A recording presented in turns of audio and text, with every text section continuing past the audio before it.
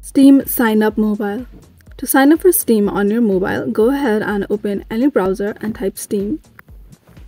So click on the store.steampower.com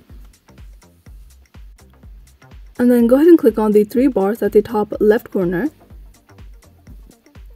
and then you'll see the option of login so tap on that now when you have created your account you can come to this page and sign in but as you're trying to create an account you have to scroll down and then you'll see the join steam option. So click on that. So go ahead and type your email address and then retype it. Select your country and then click on I'm not a robot. And then make sure to click on I am 13 years of age or older. And then click on continue.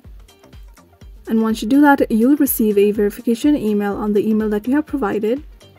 And just open up your email and click on the email that was sent to you by Steam and click on verify mail and the next you'll be able to choose your account name and your password and that's it. That is how to create a Steam account on mobile.